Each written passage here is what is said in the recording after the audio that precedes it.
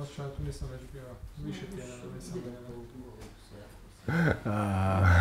Znači, bio sam prošli tjedan, jesi? Bio sam, da. Da, da, da, vrijeme se počelo rastezati. Je, se svašta dešava tokom tjedna. Ne, a? Ne, ne, ne, doga- ne dogodi se više stvari u jedinici vremena nego prije deset godina. A to da. Pa to je to, to je to. Dakle, potpuno se počeo gubiti osjećaj za vrijeme. S jedne strane, na večer se sjetiš nečega što je bilo ujutro i čini ti se da je to bilo prije osam dana. A s druge strane, ti sjetiš se nečega što je bilo prije tri tjedna i čini ti se kao je to bilo jučer.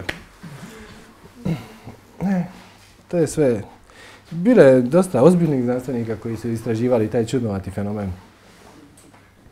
I više manje svi su došli do neke varijacije zaključka da osjećaj vremena, naš subjektivni, ovisi o prostoru svijesti na način da šta god više događaja ubaciš u manje vremena, da ti se vrijeme subjektivno produžava ili širi. Tako da, zapravo, kad recimo na godišnjem odmoru i ništa ne radiš cijeli dan, na večer imaš osjećaj kao da ti, "O, prošlo vrijeme je ovako, ništa se bitno nije dogodilo.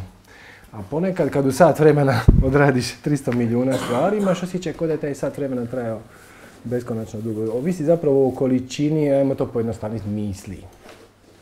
Nije baš sasvim, ali ajmo reći. I to je isto ona, ona stara Marfijeva, da vrijeme prolazi ovisno o tome s koje si strane WC-a. Znači, ako, ako čekaš i panično ti treba, i onda ti- samo ti se, majme, maj, kad će ovo izaći, kad ima, a, dajte ljudi, ajde brže malo, a? I onda tih tri minute traje beskonačno.